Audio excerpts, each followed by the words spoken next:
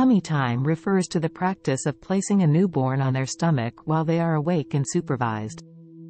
Tummy time plays a crucial role in newborn development as it helps strengthen neck, shoulder, and arm muscles, promotes motor skills development, prevents flathead syndrome, stimulates sensory development, and facilitates bonding between caregivers and infants.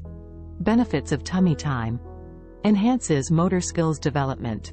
Tummy time encourages the strengthening of neck, shoulder, and arm muscles, which are essential for achieving milestones such as lifting the head, rolling over, and crawling. Prevents flathead syndrome, plagiocephaly.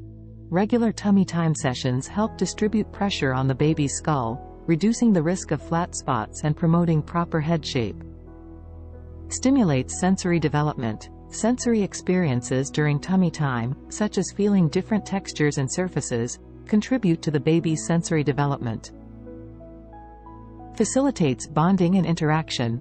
Tummy time sessions provide opportunities for caregivers to bond with newborns, fostering emotional connection and attachment. It is important to know that tummy time for newborns promotes motor skills development, prevents flathead syndrome, stimulates sensory exploration, and fosters bonding with caregivers. Dear moms, incorporate regular tummy time sessions into your baby care routine for a positive impact on overall development. Subscribe for additional insights and tips on postpartum and newborn care.